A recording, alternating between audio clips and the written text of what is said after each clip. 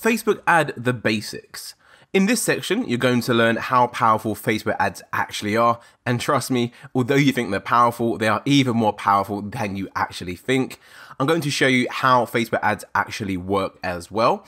It's good to understand this from the start as it's going to help you learn way more faster than someone who doesn't actually understand how they work.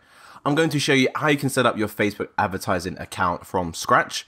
I'll be going over the key ad policies that you need to be aware of. This video in particular is very, very important as if you don't understand the Facebook ad policies, what can happen is that your Facebook ad account can actually get banned and suspended, meaning that you can't run any ads going forward. So definitely pay attention to that video.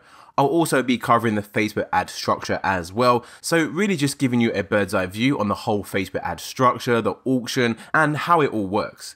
So without further ado, let's get started.